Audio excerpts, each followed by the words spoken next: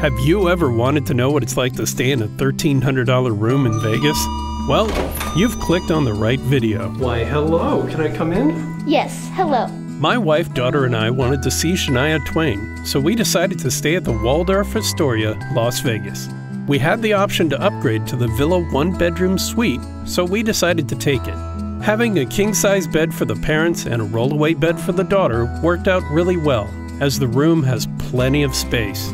The Waldorf Astoria was formerly known as the Mandarin Oriental until Hilton purchased it and took it over in 2018. It was lauded as one of the finest properties in Las Vegas at the time and stood out as one of the few hotels to not have a casino and does not allow smoking. And that is still true to this day. If you're looking for a quieter, more intimate experience in a hotel conveniently located near the center of the Las Vegas Strip, then this hotel fits that bill nicely. Considering that the building towers over the Las Vegas Strip, it's actually not so easy to find, especially on foot. There happens to be a CVS just outside the east entrance, which is very convenient if you don't like paying $9 for a small box of water. Arriving by car is actually easier, and since there is no self parking at this hotel, you hand your car over to the valet. The charge for valet was $35 a night. They do have 8 Tesla destination chargers, and since the valets are in charge of it, get it? You can rest assured knowing your car will be charged up overnight. You can take your car out as much as you like, but where's the fun in that when you can have the house car take you there instead? They will take you anywhere within two miles, which covers pretty much most of the strip. When you enter the lobby, you quickly find out that it's not the actual lobby. It's a nice place to wait for your car to arrive, and there is a concierge here, but the actual lobby and check in is located on the 23rd floor, which offers spectacular views of the heart of the Las Vegas Strip. The Instagram friendly gold wall is still there, left over from the Mandarin Oriental. We are looking for the champagne vending machine, but we're thinking maybe that's no longer. And behind over here, you can just see the Vegas Tower, the Paris Eiffel Tower, and the skyline and the Planet Hollywood. Shania, we're coming for you! Oh. and the front desk. It's great. Also on the 23rd floor is Sky Bar, which is famous for its spectacular views, especially at night. You can also find the area where the afternoon tea is presented, which offers the same spectacular views.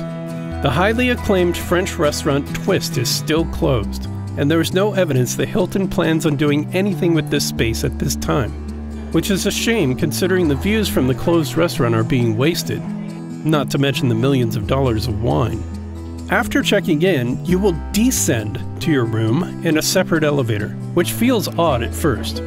All of the hotel rooms are below the 23rd floor, as all of the floors above the 23rd floor are actually residences and off limits to hotel guests.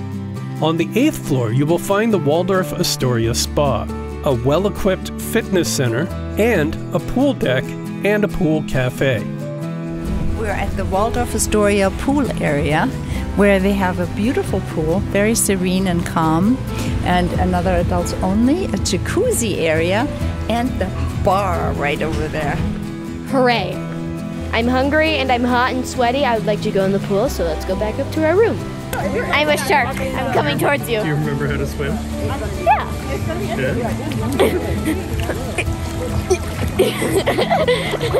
On the third floor is the Zen Kitchen, which would be considered the hotel restaurant and is available as room service delivered to your room. The food is actually quite good, and I would highly recommend it.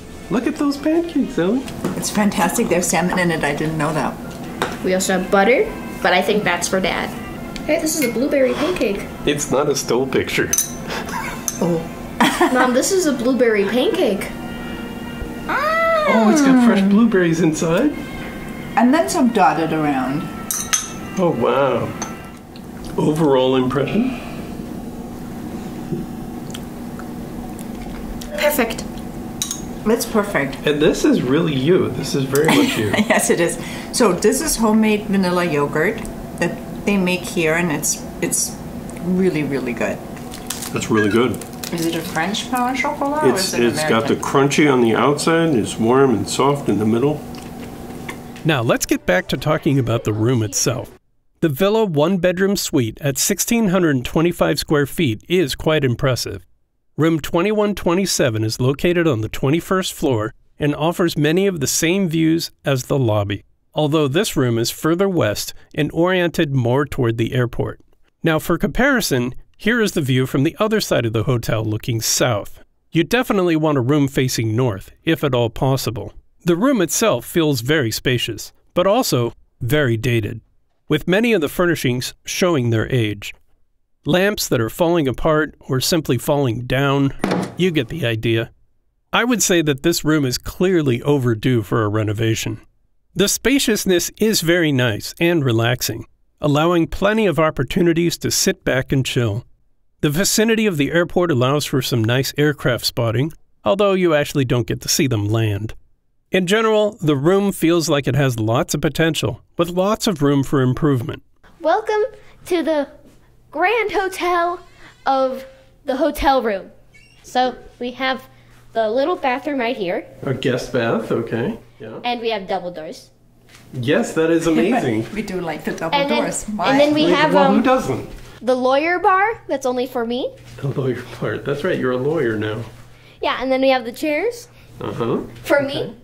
And then we have my bed with four couches. So this would be a living room, yeah? Yeah, but this is my this is my bedroom now. But when they brought up your bed, we had them put it in the living room because that's where you wanted it. Yeah. Yeah, let's take a look out the window here. It's the outside And world. Ellie, tell me if you can see something that particularly interests you. Sugar. It's the sugar factory. I want to go over there. Yes, you do. So let's finish our room tour. This is the living room with the bar. And I gotta say, the bar is very well stocked. Those are not airline bottles of liquor, those are adult sized bottles of liquor. Come with me. So we have now the dining room and the little office Well, we have a little behind workspace. the TV.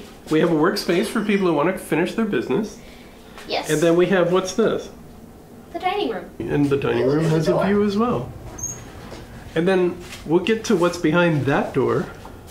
In like a few seconds. Oh, we will get to it now.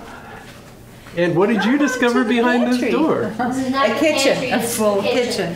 A full kitchen with like a full sink And appliances. and appliances with a microwave and a full size refrigerator Yeah, And an espresso machine, so we don't miss that. and an espresso machine. We were worried about having coffee, and I hmm. think we're gonna be okay.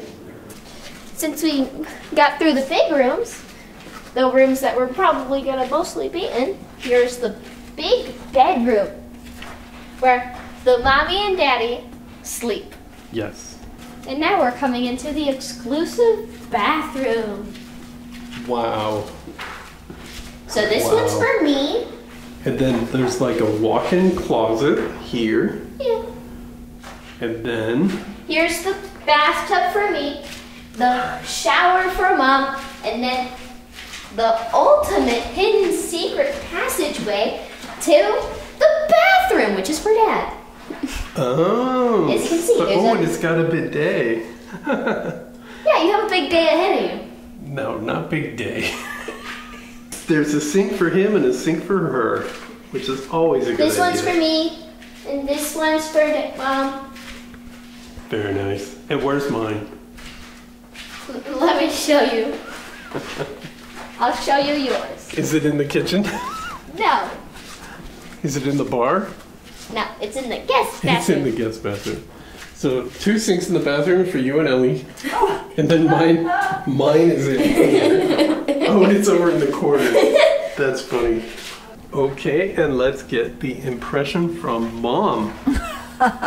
Mom, I think it's beautiful. It's very spacious. I love this room. I like that it's this minimal.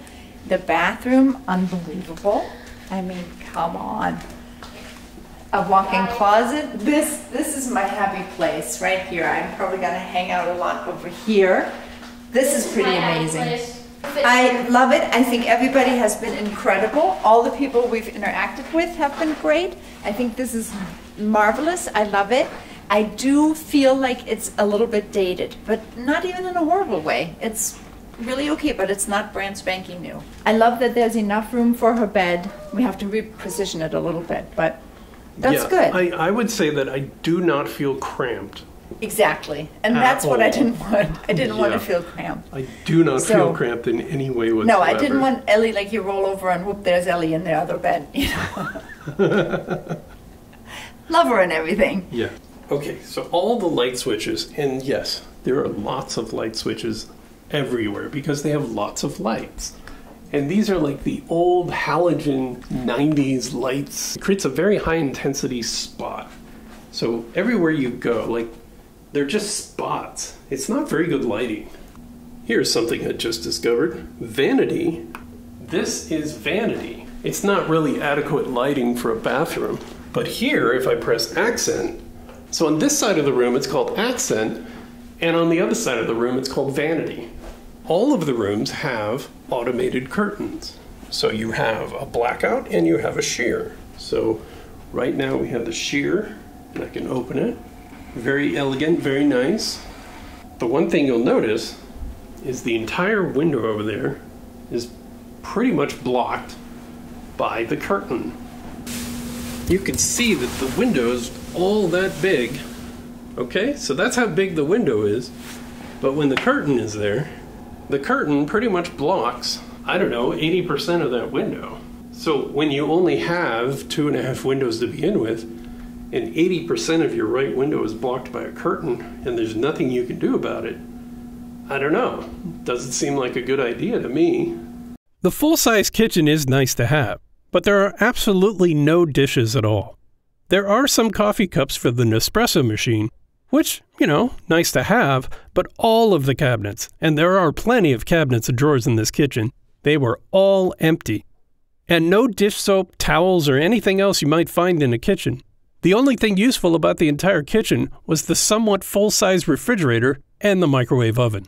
The refrigerator was nice as it held our leftovers from the first night, which we were able to heat up the next day using the microwave oven, but without a single dish in sight, it makes that somewhat nice convenience into a difficult process.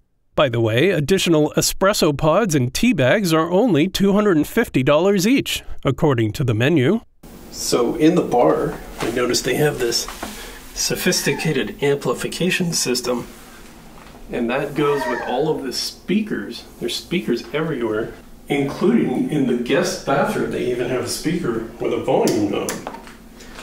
Now, the problem is, this is very old 80s analog. This is actually what you need to plug into. The entire system was completely unplugged. So, this looks like something that was pretty cool when the room was made. But right now, it's just unplugged, unusable. I realize that I'm doing a lot of complaining here, but honestly, there's a lot to complain about for a room at this price point. Okay, so the, the shower head goes here, but then it only covers from here down. Now, you have this, but it, it just creates like a rain shower, and the rain shower just comes straight down. So, But isn't that the point of a rain shower? well, what I would like, I would like this. Now I have to do this. Yeah. The art on the wall is, I think, a throwback to the Mandarin Oriental, or maybe still a leftover from the Mandarin Oriental when the Waldorf was still that hotel. So it all feels a little bit, I wouldn't say dated, but it's not new. But it's spacious and it's clean, and the service is amazing. The people are incredible. That's my favorite part. Also, on the positive side, the afternoon tea was simply spectacular, and most likely the highlight of our stay at the Waldorf Astoria, Las Vegas. So the excitement is mounting because we actually made it into the high tea here at the Waldorf Astoria. Right? Ellie is very excited. What are you going to get? I'm gonna get the children's tea with um, hot chocolate. It comes with everything that a kid would love. Like, for example? Nutella and banana sandwiches. That's right. So, and Paul and I are going to split a high tea actually for grown ups, but I ordered a flute of champagne because I'm in Vegas. And it says tea, a hug in a cup. Oh, thank you so much. So the first plate we have tea sandwiches. So we have the banana Nutella sandwiches and turkey wrap with cheese lollipop. The second plate here, we have the scones. We have buttermilk and blueberries. Beneath this pocket here, there is a heating pallet that's keeping them warm, so please be careful. It's very hot. Thanks for pointing Jams for the scone. This is the lemon curd, right? Yes. Yes, thank you. And then for your dessert, we have berry cheesecake mousse, lemon blueberry tart, pistachio macaron, and dulce de leche cream puff with coffee bean on top. And for the adults here, um, the second and the third plates are the same as hers. Okay. Um, the first plate here, we have tea sandwiches. Right in the front, we have egg salad. On the side, we have ham sandwich. Back there, we have truffle cream cheese on brioche, and we have curry chicken sandwich on tuna. So here's our review so far of the high tea. I do like my champagne. I don't love it. It's not as dry as I usually like it. It's a Collet.